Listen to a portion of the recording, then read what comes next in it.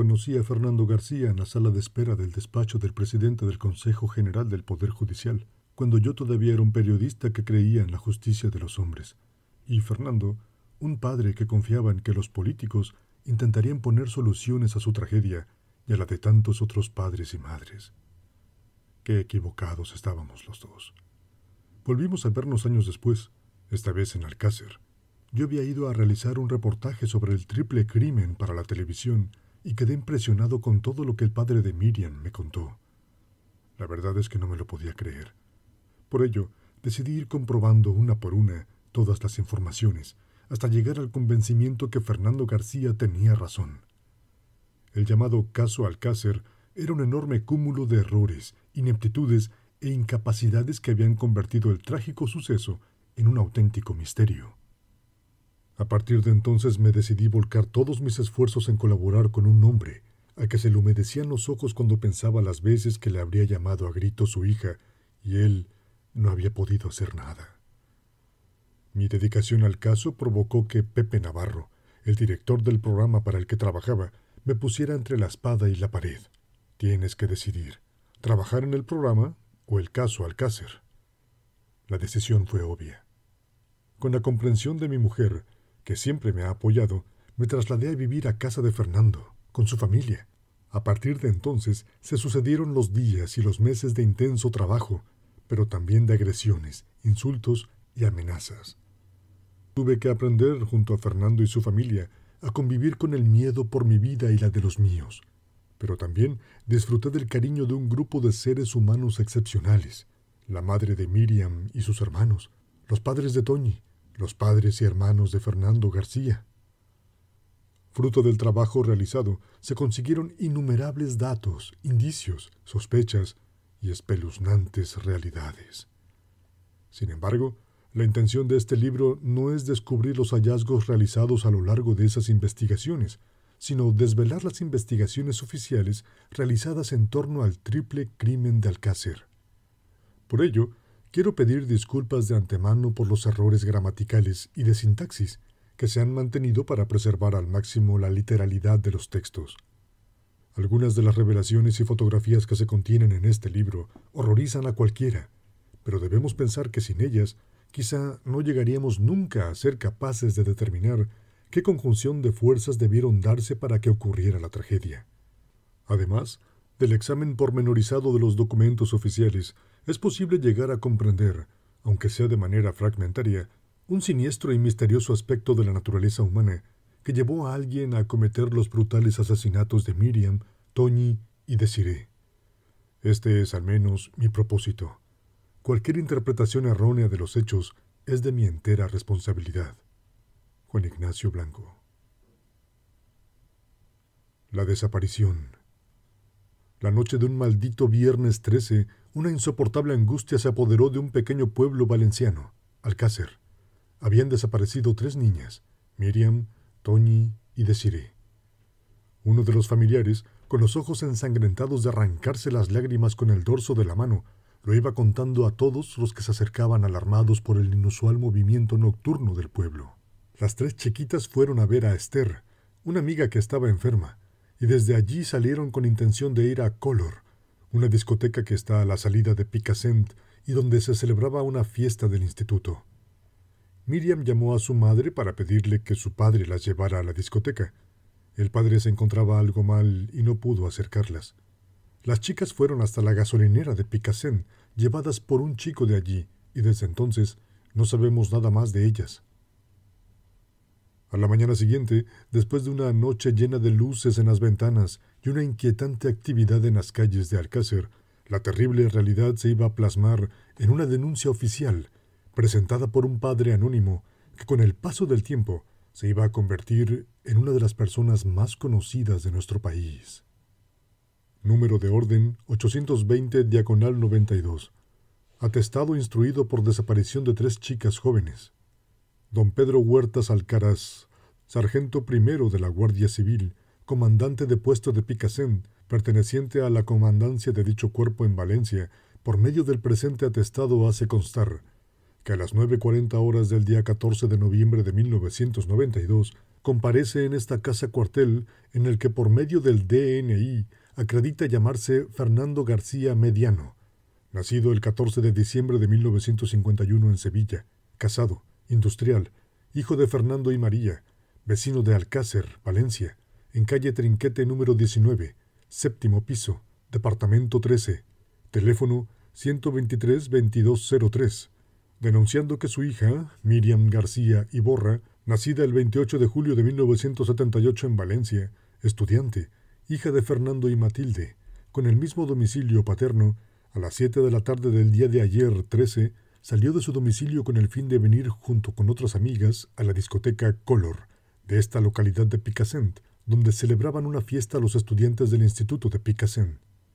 Que las otras dos chicas que la acompañaban se llamaban una María Deseada y la otra Antonia, vecinas las dos también de Alcácer, que hasta el momento, después de haber salido a la hora citada en el día de ayer, no han vuelto a su domicilio ninguna de las tres, desconociendo las causas y su actual paradero.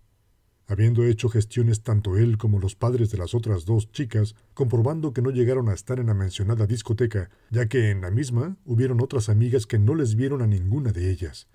Habiendo preguntado en casas de amigos y conocidos, y nadie da pista del posible paradero de ninguna de las tres.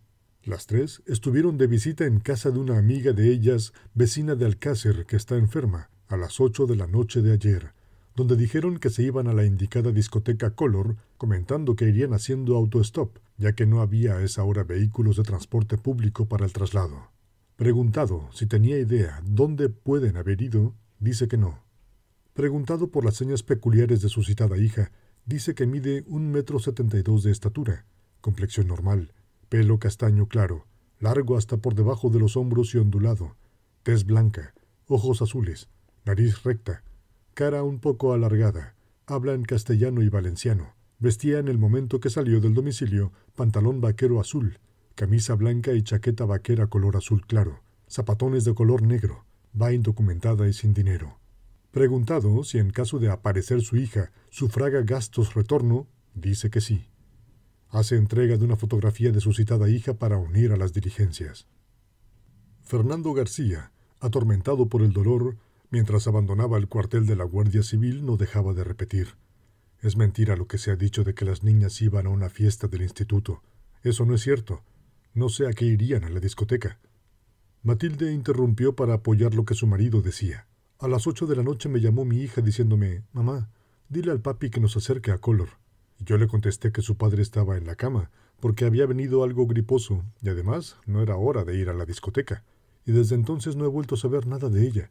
Yo no sé si irían a la discoteca, pero a la fiesta no, porque sabía que tenía que estar temprano en casa. El matrimonio no dejaba de abrazarse fuertemente, como si con ello consiguieran aliviar la angustia que les invadía.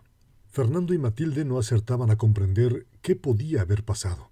Era una familia normal, que vivía en un amplio ático, con mucha luz, junto al trinket, un pabellón donde se practica este deporte valenciano a medio camino entre el tenis y el frontón.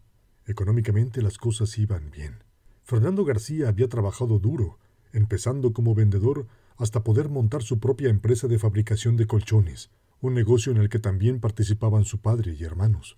Todo para que nada les faltara a su mujer y a sus tres hijos. Miriam, de 14 años, era la mayor y acababa de empezar a estudiar formación profesional hacía justo un mes. Tímida e inteligente, poseía una belleza que, a pesar de su corta edad, hacía girar la cabeza a muchos jóvenes y a otros que lo eran menos. En casa tenía su cuarto propio, una amplia habitación con muebles de pino. Sobre la cabecera de la cama estaban colgadas sus zapatillas de ballet y los pósters de las paredes representaban figuras de la danza. Quería convertirse en una gran bailarina, como atestiguaba un gran letrero que había también en su cuarto y que decía La danza es arte. Aquella triste mañana sus hermanos, Fernando, un año menor que ella, y Martín, el Benjamín de la familia, de nueve años, se habían quedado con sus abuelos paternos. Intuían que algo estaba pasando, pero todavía no sabían que Miriam había desaparecido. La siguiente persona en sentarse en la crujiente silla de madera que había frente a la mesa del sargento Huertas en el cuartel de la Guardia Civil de Picassent fue una mujer, una madre con el rostro demudado por el miedo y el dolor. Manifestación de Rosa Antonia Folch Romaguera.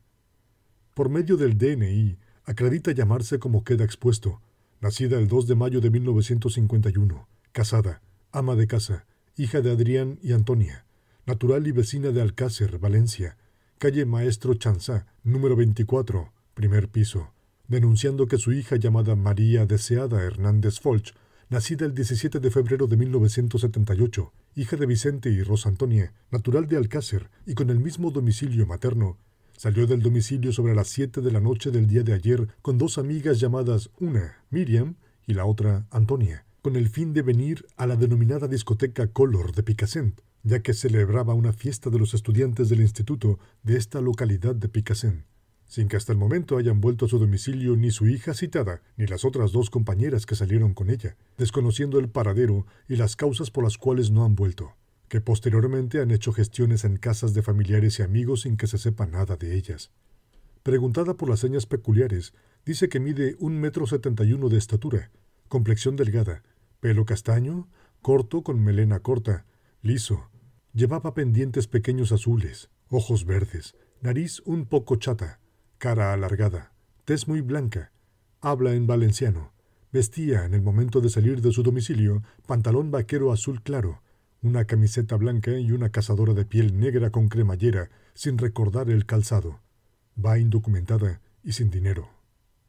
La madre de Desiré estaba destrozada. Su marido Vicente padecía una enfermedad terminal que le estaba matando poco a poco también a ella, y ahora esto. Mi hija salió ayer de casa después de preparar su bolsa para ir hoy a natación. Vino, me dio un beso, y en ese momento oí abrirse la puerta de la calle y alguien que la llamaba.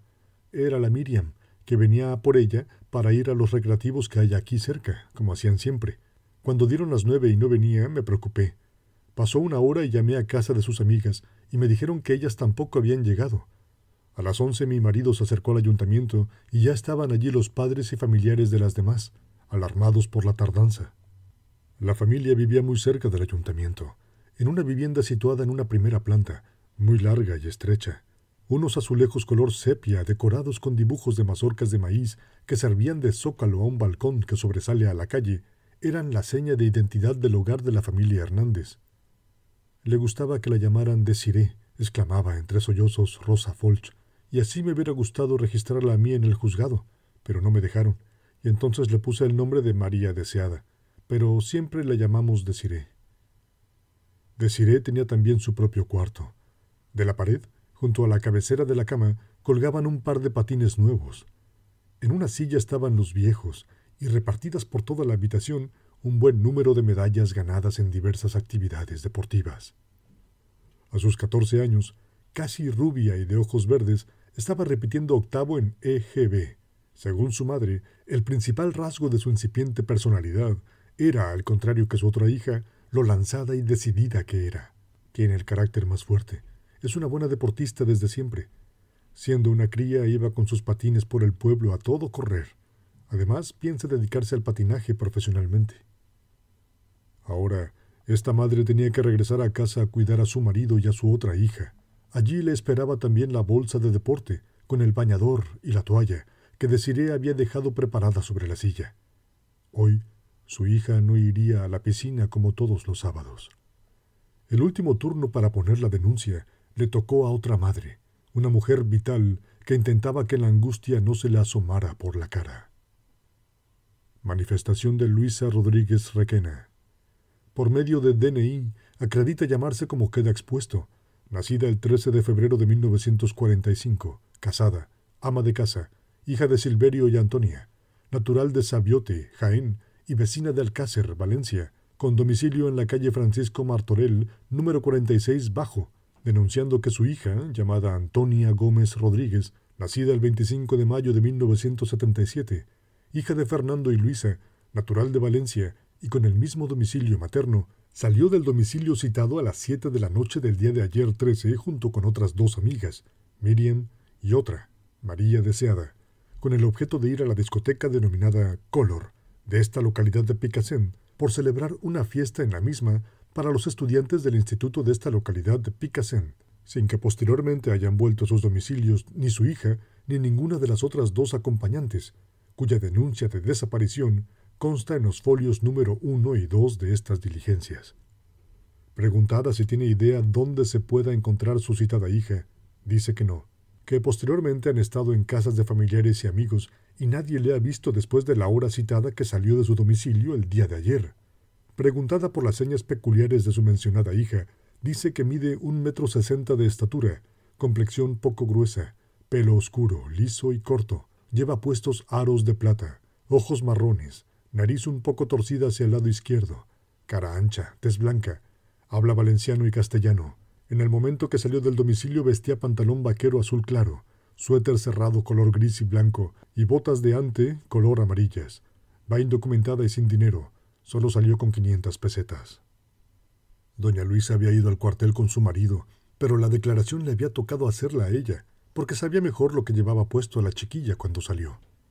Fernando Gómez, el padre, estaba desconcertado. Yo no sé qué ha podido pasar. No me lo explico. Mi hija se fue como todos los fines de semana a juntarse con las amigas. Luego se tardaba y se tardaba. Dicen que se han podido ir a la aventura. Yo no me lo creo porque ¿a dónde van a ir tres chiquillas y sin dinero? Porque la mía no lo llevaba. Las otras no lo sé. Toñi, la mayor del grupo, de 15 años, vivía junto a sus padres y tres hermanos, dos varones y una mujer, en una casa baja casi en el borde del pueblo, vecina a los naranjales. De ojos pardos y corto pelo negro, Toñi, que lo que más odiaba en el mundo era que la llamaran Antonia, había dejado los estudios y estaba a la espera de encontrar algún trabajo. Compartía el cuarto con su hermana mayor Luisa, y solo tenía un póster en el que aparecían los chicos de la serie Sensación de Vivir. Luisa decía, si por ella fuera, estaba el cuarto lleno de pósters de artistas, pero yo no le dejo. Eso sí, esas dos caretas de cerámica se las permití, porque tenía mucha ilusión con ellas.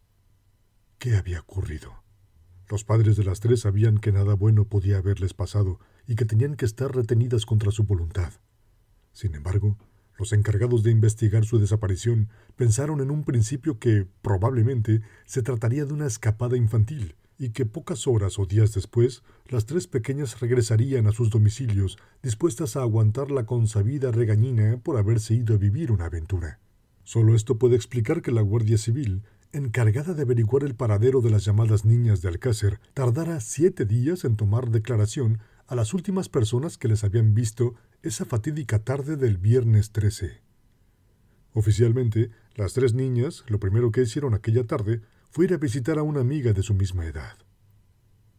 Manifestación de Esther Díez Martínez.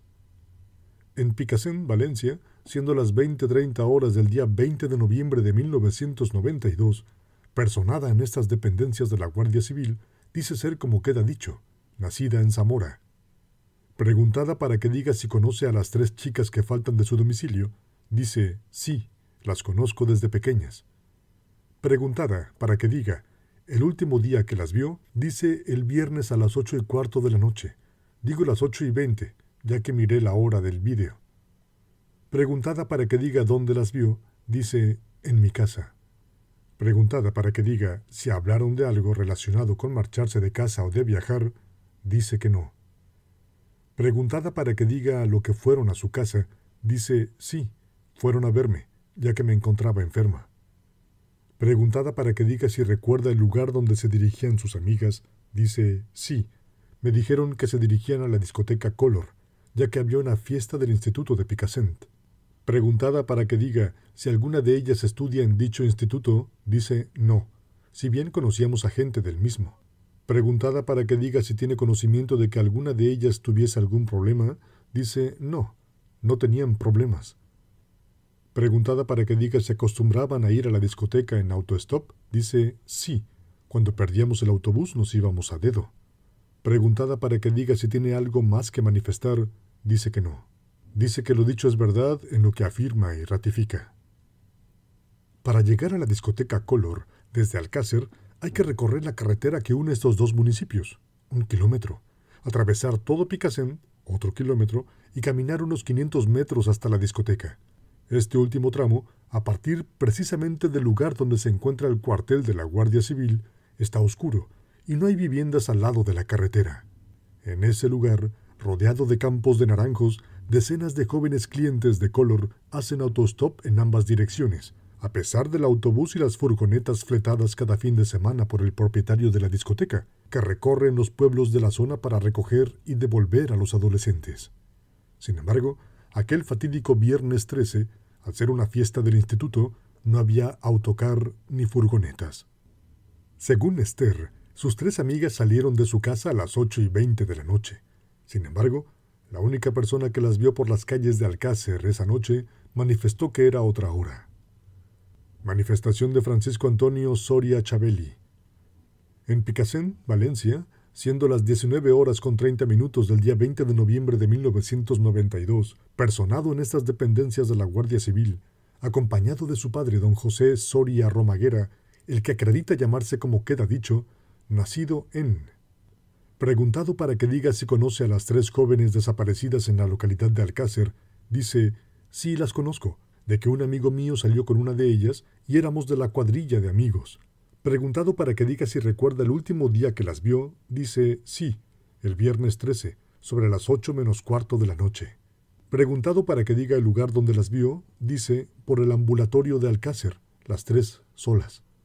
Preguntado para que diga si habló con ellas, dice no, solamente las saludé, ya que tenía prisa, ya que tenía un examen de graduado escolar. Preguntado para que diga si tiene conocimiento del lugar a donde se dirigían, dice, supongo que hacer autostop, aunque me extraña, ya que por la tarde le pregunté a Desiree si venían a la discoteca Color y me contestó que no venían. Preguntado para que diga si en alguna ocasión alguna de ellas comentó la intención de marcharse de casa o bien de tener intención de viajar, dice no, nunca comentaron eso. Preguntado para que diga si tiene conocimiento de si salían a discotecas distintas a la de Color, Dice, no tengo conocimiento. Preguntado para que diga si tenía amigos fuera del grupo suyo, dice sí, por la parte de silla, desconociendo quiénes son. Preguntado para que diga si tenían costumbre de hacer autostop, dice sí, lo hacían de costumbre.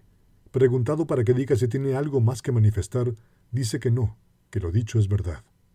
¿Recuerda usted si el viernes, día 13 de noviembre de 1992, vio a, a estas tres chiquitas juntas? Sí. ¿Dónde las vio usted? En el ambulatorio de Alcácer. ¿El ambulatorio de Alcácer está a las afueras yendo hacia Picasen? Está cerca de la carretera. Las siguientes personas que vieron aquella tarde a las niñas fue una pareja que les trasladó en su coche hasta el cercano pueblo de Picassent, lugar donde se encuentra la discoteca Color. Manifestación de don Francisco José Herbaz Martínez. En Picassent, Valencia, siendo las 12 horas con 50 minutos del día 19 de noviembre de 1992, personado en estas dependencias de la Guardia Civil, preguntado para que diga si conoce a las tres jóvenes desaparecidas, dice sí, las conozco de la localidad, si bien no tengo relación con las mismas. Preguntado para que diga la última vez que las vio, dice el viernes día 13 de los Corrientes, sobre las ocho y cuarto de la noche. Se encontraban a la salida de la localidad de Alcácer con dirección hacia Picasen a la altura del último semáforo, cuando en compañía de mi novia, doña María Luz López García, vecina de Valencia, nos dirigíamos a Picasen y al llegar a la altura de ellas, encontrándonos parados en el semáforo, vimos que estaban con intención de preguntar a los conductores por si las traían, momento que les dijimos que si querían subir y las trasladamos hasta la primera gasolinera a la entrada de Picassent, donde se quedaron. Preguntado para que diga si en el tiempo que estuvieron con ellas les dijeron algo, dice que sí, que si las podíamos acercar hasta la discoteca Color, que tenían una fiesta del instituto. Preguntado para que diga si las llevaron hasta la discoteca, dice que no las llevamos, dejándolas en la misma gasolinera, ya que tenía el vehículo estropeado. Preguntado para que diga si tiene alguna cosa más que manifestar, dice que no, que lo dicho es verdad. ¿Recuerda usted haber dicho a la Guardia Civil que vio a las tres muchachas en la gasolinera Marí? Sí, lo recuerdo. Eh, ¿Recuerda usted la hora en que dijo que las vio? Sí, de 8 y 10 a 8 y 20, gasolinera hacia dentro del pueblo. Hacia dentro del pueblo. Sí. O sea, que habían, habían pasado ya la gasolinera. Sí, sí, sí. Yo cuando las vi, la gasolinera se les quedaba detrás. Ajá. O sea que, punto primero, cuando usted las vio y las saludó, iban andando hacia dentro del pueblo y la gasolinera ya estaba a su espalda. Sí, sí. Este joven de 21 años, vecino de Alcácer, aseguró que se encontró a las tres niñas sentadas en la acera, frente a un semáforo a la salida del pueblo. Cuando detuvo su vehículo, las llamó, y Miriam fue la que se acercó hasta la ventanilla del conductor. Le dijo si querían que les llevaran y las tres subieron tranquilamente. Sin embargo, no pudo acercarlas hasta la discoteca porque su vehículo perdía mucho gasóleo e iba a dejarlo en un taller, por lo que Miriam, Tony y Desiree se bajaron en la gasolinera que hay en la entrada de Picassén. De lo que estaba seguro Francisco José Hervás es que las chicas no estaban haciendo dedo posiblemente para asegurarse de que no les cogía nadie sospechoso. Su novia, sin embargo, afirmó lo contrario. Las niñas estaban haciendo autostop. Eso sí, lo hacían casi como a escondidas. Además, esta mujer notó a las tres niñas un poco nerviosas. Manifestación de María Luz López García. En Picassén, Valencia, cuando son las 13 horas con 10 minutos del día 19 de noviembre de 1992, personados en estas dependencias de la Guardia Civil, la que acredita llamarse como queda dicho. Preguntada si quiere prestar manifestación voluntariamente, dice que sí. Preguntada para que diga si conoce a las chicas desaparecidas, dice que no, que no las había visto nunca. Preguntada cuándo fue la primera vez que las vio, dice que fue el viernes día 13 sobre las ocho y cuarto de la noche, que se encontraban a la salida de la localidad de Alcácer, Valencia, en el último semáforo de la avenida de Ricardo Hernández, que se encontraban apoyadas en la pared, justo a la altura del semáforo, que ella iba acompañando a su novio Francisco José Hervás Martínez en el vehículo de su propiedad. Preguntada si las chicas les hacían autostop, dice que notó que las chicas estaban muy nerviosas, que hacían autostop y rápidamente bajaban la mano. Preguntada si observó si anteriormente otro vehículo había parado para subir a las chicas, dice que no. Preguntada si las chicas les comunicaron si podían trasladarlas a la localidad de Picassén, dice que no, que su novio las llamó con la mano y al llegar a la altura del coche nos preguntaron si íbamos para Picassén, a lo que mi novio les dijo que sí, que subieran y que las llevaríamos hasta Picassén. Preguntada si una vez en el interior del vehículo las chicas les hicieron algún comentario, dice que sí, que comentaron que iban hacia la discoteca Color a una fiesta del instituto. Preguntada si notó que se encontraban nerviosas, dice que sí, que un poco nerviosas las notó. Preguntada para que diga si las llevaron hasta la discoteca, dice que no, que las dejaron a la altura de la gasolinera de Picassent. Preguntada si tiene algo más que manifestar, dice que quiere hacer constar que al referirse a la gasolinera de Picassent, donde dejaron a las chicas, se refiere a la llamada gasolinera Mari, que no tiene nada más que manifestar. ¿Por qué subieron ustedes a las chicas? Porque estaban así, estaban las tres allí puestas, estaban así, así como haciendo dedo. Entonces yo le dije a, bueno, que a mi novio le dije, digo, ¿qué pasa que están haciendo dedo? Las, las podíamos parar. Y dice, bueno, pues pregúntaselo y eso. Se lo pregunté y dijeron que sí, que iban hacia Picasso y las subimos. ¿Las chicas mostraban señales de estar nerviosas o estaban normales? Estaban normales riéndose, estaban riéndose. riéndose. ¿Les dijeron a ustedes a dónde iban, a dónde se dirigían? Sí, sí. ¿Dónde iban a ir? A la discoteca. ¿A, la discoteca de color. Lo recuerdo. Una vez que se bajaron del coche, ya en la cercana localidad de Picassén, las tres chicas comenzaron a caminar por la calle principal en dirección al interior del pueblo. Si aligeraban el paso, en menos de diez minutos podían estar en la discoteca Color. Cuando llevaban recorridos muy pocos metros, un joven que iba en su moto y que las conocía se cruzó con ellas muy cerca de la gasolinera. Manifestación de José Antonio Cano Yasser. En Picassén, Valencia, siendo las 19 horas con 30 minutos del día 20 de noviembre de 1992, personado en estas dependencias de la Guardia Civil, el que acredita llamarse como queda dicho, nacido en Valencia, preguntado para que diga si conoce a las tres jóvenes que faltan de su domicilio en Alcácer, dice sí, las conozco, a las tres. Preguntado para que diga de qué las conoce, dice por tener amistad desde hace unos tres años, si bien no salíamos con la misma gente. Preguntado para que diga el lugar donde las vio, dice por el ambulatorio de Alcácer las tres solas. Preguntado para que diga si recuerda cuándo fue la última vez que las vio, dice el viernes a las ocho y veinte de la noche, cuando me dirigía desde la discoteca Color hacia Silla, a unos quince metros de la gasolinera Mari con dirección al interior de la población de Picassén. Preguntado para que diga si habló algo con ellas, dice no, solamente las saludé. Preguntado para que diga si las vio solas, dice sí, se encontraban solas. Preguntado para que diga si en ese momento vio algún vehículo en la gasolinera o inmediaciones, dice en la gasolinera había dos o tres coches sin poder precisar marcas o modelos. En cuanto a alrededor de ellas, no había vehículos ni personas. Preguntado para que diga si en el momento de saludarlas les observó alguna cosa que no fuese normal en ellas, dice no, las vi que por los gestos estaban normal, no viéndolas preocupadas ni nada.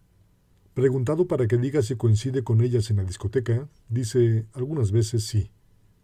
Preguntado para que diga si tiene conocimiento de las discotecas que solían ir las tres jóvenes, dice, que yo sepa, solamente a Color. Preguntado para que diga si tiene conocimiento de que alguna de ellas tuviese algún problema, dice, no tengo conocimiento. Preguntado para que diga si en alguna ocasión le manifestó alguna de ellas el querer marcharse de casa o salir de viaje, y dónde, dice, no. Nunca me habían comentado nada. Preguntado para que diga si tiene alguna cosa más que manifestar, dice que no. Miriam, Tony y Desiree se encaminaron por la calle principal de Picassent, supuestamente hacia la discoteca. Era una hora con las aceras llenas de gente. Sin embargo, nadie las vio. Bueno, nadie que paseara por allí, pero sí una mujer que estaba asomada a la ventana de su casa. Manifestación de Dolores Badal Soria. A las 20:15 horas del día 21 de noviembre de 1992, comparece en esta casa cuartel la que manifiesta llamarse Dolores Badal Soria, de 63 años de edad, casada, ama de casa, con domicilio en la calle Padre Guaita, número 1, segundo piso, puerta 5, manifestando que serían sobre las 8 de la noche del día 13 de noviembre de 1992, viernes, cuando se hallaba sola en el ventanar de su domicilio citado, cuando vio a tres chicas jóvenes en la esquina del casal, las que estaban haciendo autostop a los vehículos que circulaban procedentes de la entrada a Picassent, por la parte sur y con dirección norte, a las que vio.